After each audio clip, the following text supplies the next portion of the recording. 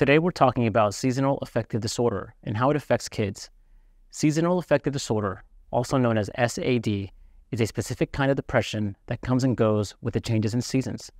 It has all the same symptoms as major depressive disorder, but it only happens during specific months of the year. Symptoms of seasonal affective disorder include feeling sad or irritable, lacking energy, having trouble concentrating or making decisions, struggling in school, low self esteem, trouble talking to friends, changes in appetite or weight, being tired all the time, trouble sleeping, and even thinking about or attempting suicide.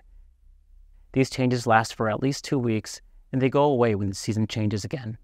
Most people with SAD experience it in the fall and winter, but it can happen in the spring and summer too. To be diagnosed with seasonal affective disorder, kids have to show several of the above symptoms for at least two weeks.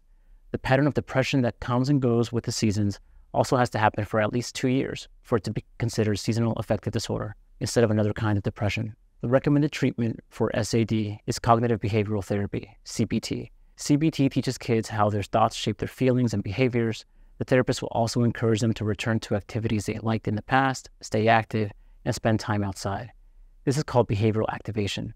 In some cases, medication is used in combination with therapy. The most common medications prescribed for seasonal affective disorder are selective serotonin reuptake inhibitors, SSRIs.